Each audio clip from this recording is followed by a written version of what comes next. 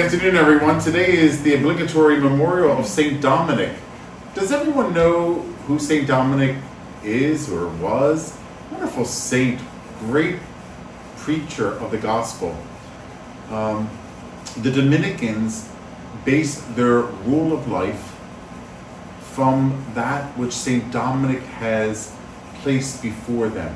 In other words, each religious congregation or religious order, the Dominicans are an order, and I don't want to go into technicality with you because I'm sure you've heard of religious congregations, religious orders, and societies of apostolic life. Well, in the religious life, there are many classifications. Remember when I told you about the classifications of the liturgical day? I said the solemnity, the obligatory memorial, the optional memorial, the commemoration, the ferial. Remember I told you all about that? There's a classification of order for the liturgical day. Well, in religious life, there's also a classification. Not every congregation of men or women that take vows of poverty, chastity, and obedience are in order. Now, I know we say, oh, what order do you belong to? Or what order do you belong to? But not everyone belongs to an order. So we have to remember that. Now, the Order of St. Francis is an order. The Order of St. Francis, the Franciscans. The Order of St. Dominic, that's an order. You know, that's an order. So I was just texting a friend of mine who is a priest and uh, talking about one of the members of the Society of the Mission of Africa is coming to another parish to live and taking courses at Villanova.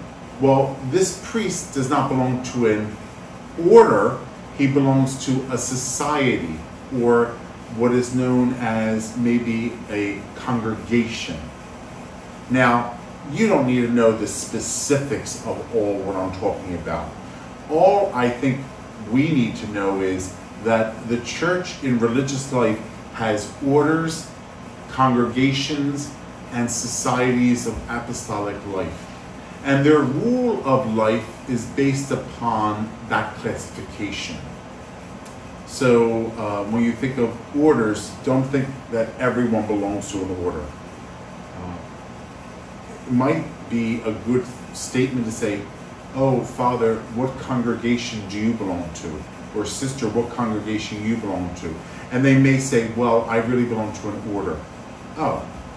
But I think we shoot high and say, what order do you belong to? And then they'll say, oh, I don't belong to an order, I belong to a congregation. so it's one of those things. Uh, today we celebrate the, the obligatory memorial of St. Dominic. And after their name, you know, you know how they have initials after people who belong to religious congregations? You've seen it with the sisters, haven't you? Like they'll have Sister Jane Marie, IHM, Sister Michael Marie, SSJ.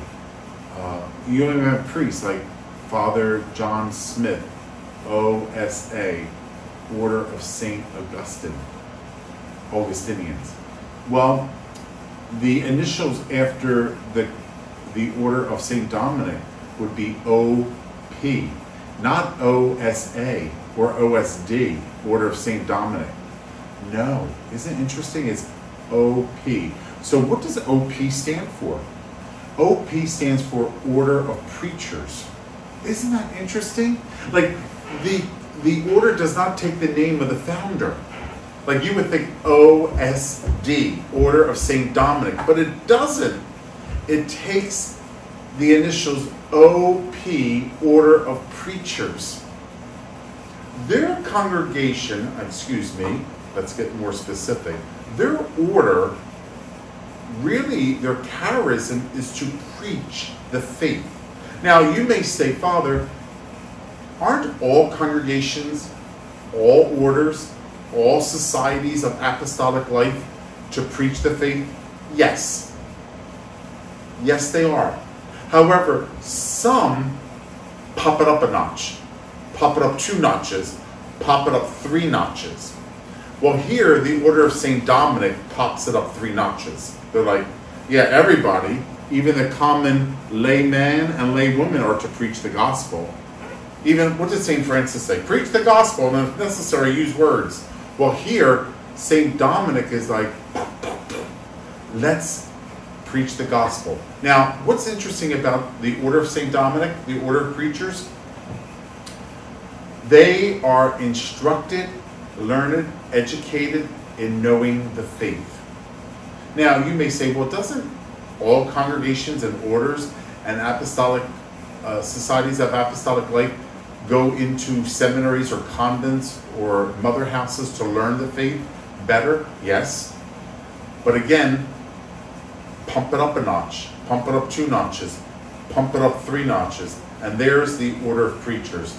They're constantly studying, they're constantly looking into the mysteries of faith so they'll be able to articulate it clearly to the non believer and to the skeptic. That's their ministry. That's their charism. You know how some people say, oh, it's just because that's what I believe. Well, the person just walks away and says, well, that's not helping me a lot. But the order preacher says, come, sit down, let's have a conversation. And they bring you back into historicity. They bring you back to really the history of the scriptures, the early church, how this all was formulated, why, the reasoning, even the reason for the existence of God. How do you explain the existence of God? I don't know, I just believe. Well, not for the Dominicans. They'll say, sit down, let's talk about philosophical, what, what the philosophers talked about, what the early church fathers talked about, what people of faith of years talked about, how we gather an understanding, not of those people, but of science and faith. So knowledge and faith are not enemies. Science and faith are not enemies. They have to work together. They have to work together. Even like the existence of the world, like God created the world in seven days or six days and he rested on the seventh day. And then people will refute that and say, listen, I've studied archaeology, I've studied the earth, I've studied this. It did not happen that way. So what you're saying is all false. It's a myth. Well, then the Dominicans will then bring you through and really tell you that the church doesn't necessarily literally mean that the world was created in six days. I mean, who wrote the Bible? Who wrote the first five books of the Bible? Moses, right? Genesis, Exodus, Leviticus, Numbers, Deuteronomy. Was Moses a scientist or an archaeologist? No. So is Moses is the Bible a history book?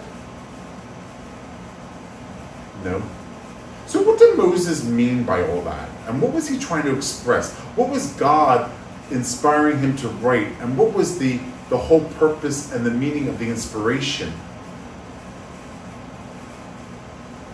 So the church absolutely does not hold Catholics to believe that a day God created this on this day and this on this day, that a day is 24 hours.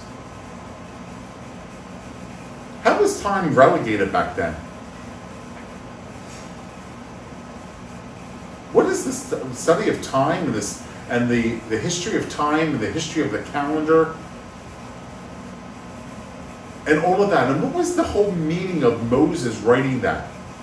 That God creates that God created. It took God 24 hours to do that? Really? Why did it take him that long? See, we have to be very careful. We have to understand the meaning because as Catholics, we don't take the Bible literally. We take it spiritually. as the inspired word of God to bring about a message of salvation. So God did this on the first day. It took him a lot. It took him a lot of time to do all that. He made it the oceans, and it's like, oh, I didn't get it right. Let me let me try to make the oceans again. Now I'm not being disrespectful, but I'm just trying to give you. I'm trying to explain the point to you. That be careful when you, you know, God created this in, in, in a day or this day. So it took him 24 hours to do it. He couldn't do it in three hours. No, it had to be a whole day. Is that what it means? No. So do you see what I mean about, now that's one example. That's the existence of God and the creation of the world. That's just one thing. Now, for many people say, no, this is, the Bible says it, this is what it means. Really? Does Catholics believe that? I don't. And I'm a Catholic priest. I believe in the Bible. I believe that the Bible is the Word of God. But I do not take the Bible literally. Jesus says, if your right hand causes you to sin, cut it off. If your eye causes you to sin, pluck it out. Why does everyone still have eyes and hands? I mean, let, let me tell you, I hear confessions. Because it's not to be literally. Spiritually. Come on, people, let's understand our faith. Let's be able to articulate our faith. The Dominicans spend so much time in study so they're able to teach and preach the faith.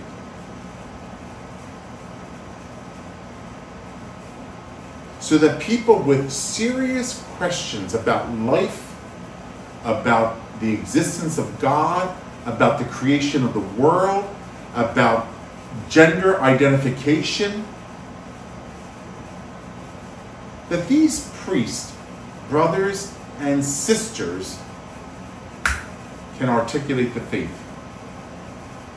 Take something very and bring it down and let's have a conversation. How about the people who are like these lay kids, lay men and women in, uh, I say kids, but you know what I mean, young adults, in colleges? You know, they're they're just saying, I don't believe in this, I don't believe in this, show me this, this is this is not God didn't do this. And these are kids that went to Catholic school. These are kids that are baptized, confirmed. What now? Left the faith. No longer practice the faith. Never go to church. Not even Christmas. Not even Christmas anymore. They stopped going to church on Easter. Christmas was cultural. That's why people sometimes go to church. That's why you see our churches packed on Christmas. It's cultural. It's not necessarily faith-based. Although we hope something happens when they come to Mass and they they breathe in the Spirit and allow God to speak to them. We hope and pray. So we never we're we're not mean when people come to Mass on Christmas. You know, like years ago, you know, it was all packed. Where are you all the rest of the year? That doesn't work, does it? Let them come in. Let them come in. Come and see. And maybe God will touch them through the celebration of the Christmas Mass. Well, anyway, I say all that to you because there's a lot of people out there that were professed Catholics, baptized Catholics, confirmed Catholics, educated Catholic in Catholic school who don't go to church, who left the faith, who don't get married by a priest. And when their parents die, they don't bury them in a church. They either cremate them, sprinkle their ashes somewhere, hold their ashes, or just, you know, bury the ashes and then go somewhere else. Go to the reception. I know this. That's why I'm determined to talk and to preach and to be here for all of you. I love you.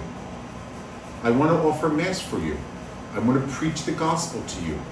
I want to hear your confessions. I want to bury the dead. I want to marry couples.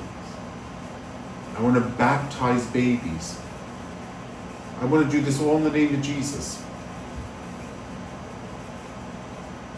But everybody at home, you have a lot of work to do.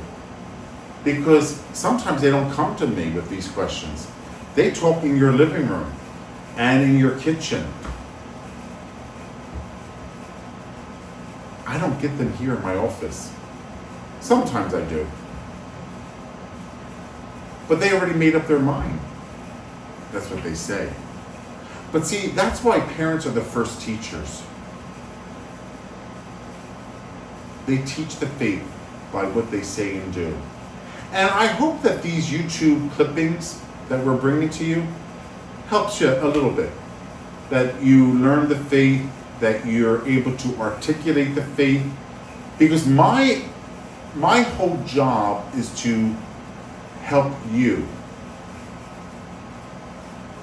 live the faith and teach the faith. You know, I want I want you to be equipped with the knowledge and the faith of the church. Enable you to sit down with people when they when they talk to you, whether it's neighbors, relatives, friends, or your children or grandchildren. I mean, I know it's nice to say, "Oh, it's, honey, it's because I believe." I can't explain it to you. Well, sometimes that does happen. You know, where where grandparents or parents say to children, I, I know what you're saying, but I, I can't explain it to you. I just believe. Well, I understand that, but I think we need to move to the next level like the Dominicans. Like, come on, let's charge our batteries up and let's say, wait a minute, I can explain this to you. This is why I believe, because this is what the church teaches. And let me try to articulate what the church teaches to you. You know, then you have a conversation. Human life? You know, abortion, euthanasia. What about all those situations? That life begins at the first moment of conception and develops in all of its stages. And then it regresses at the end before it goes to God. How do we how do we respect the life? In its early stages and its end stages. You know, in the middle everyone's like, oh fine, fine, you know, we're, we're, we're shooting for all lives matter, all through the ages. But how about these little fetuses in the womb of a mother? Do they count? Do their lives matter? I want to ask you that question. Do their lives matter? White, black, Asian, Mexican, Puerto who, human life. Does human life matter? Well, if it does, we should never kill human life in the womb of a mother.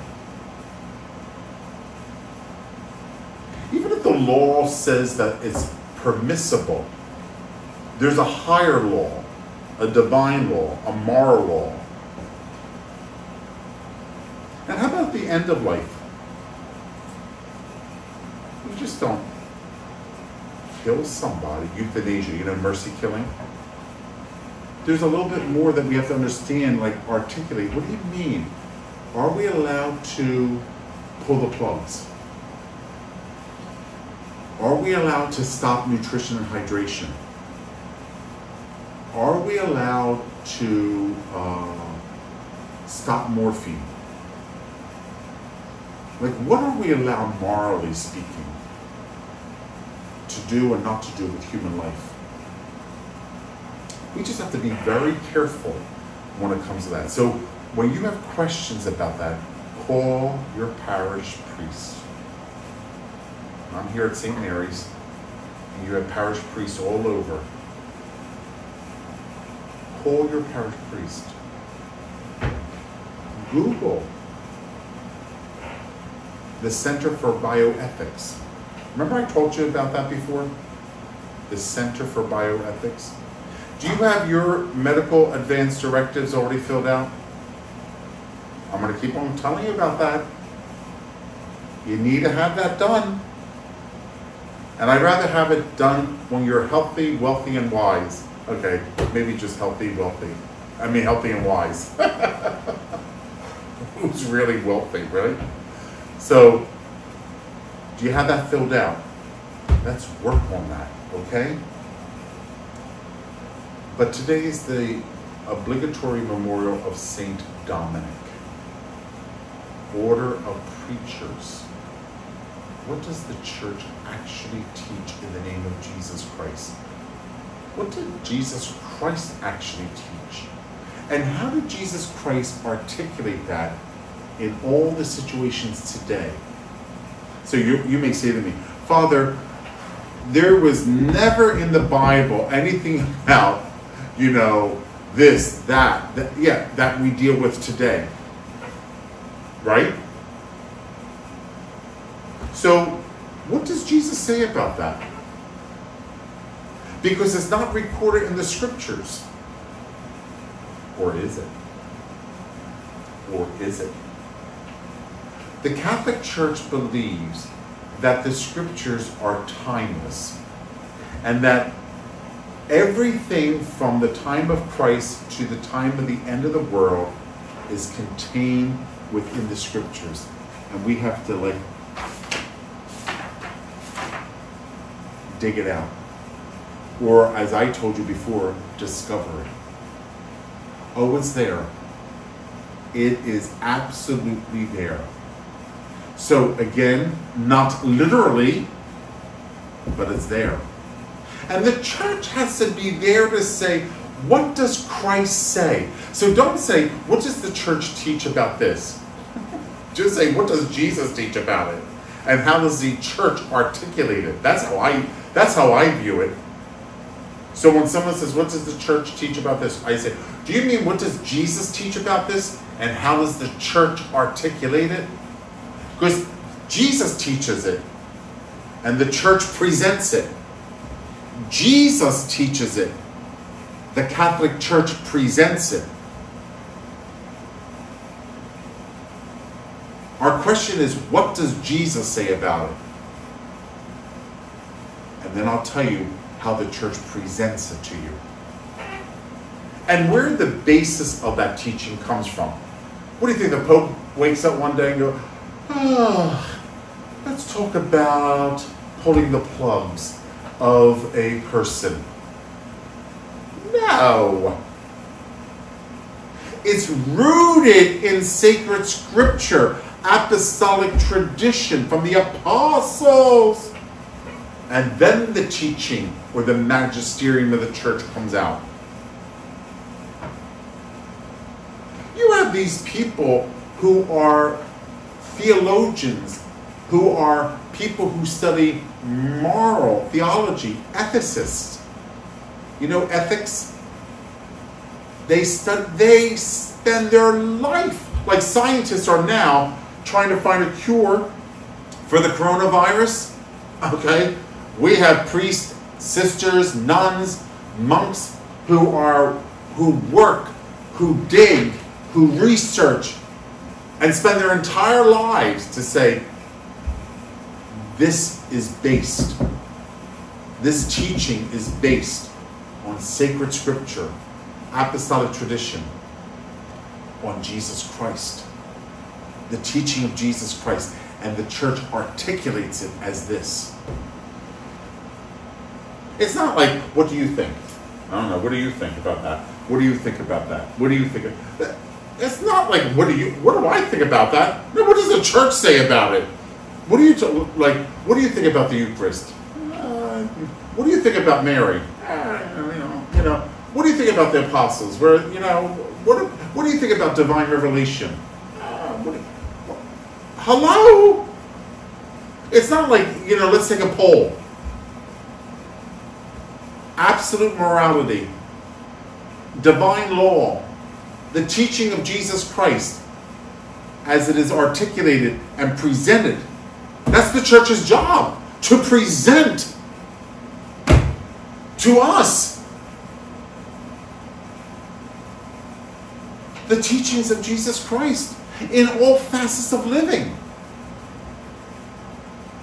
What do you think about living together?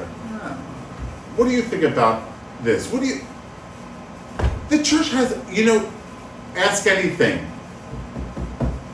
From the time of 33 AD to now, the church has a statement.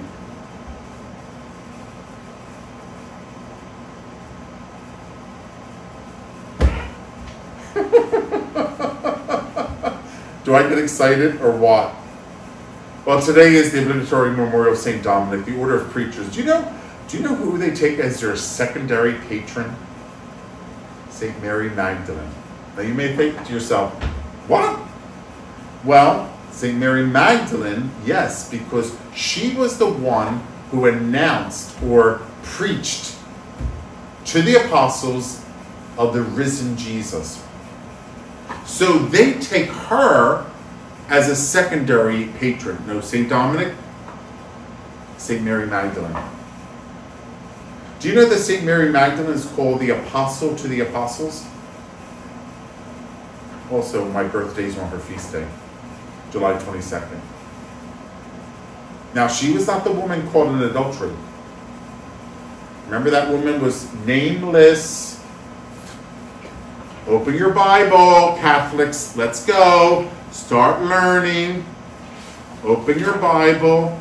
The woman caught in adultery has no name. No name. Nameless. Mary Magdalene is the one that Jesus cast seven demons out. We think the seven capital sins. So she did a turnabout. So they have her as the secondary patron. Well, I hope you have a blessed day today, and we'll continue our discussion about divorce, annulments, probably tomorrow. But you know, it all unfolds as we discover God's presence among us. Have a nice day.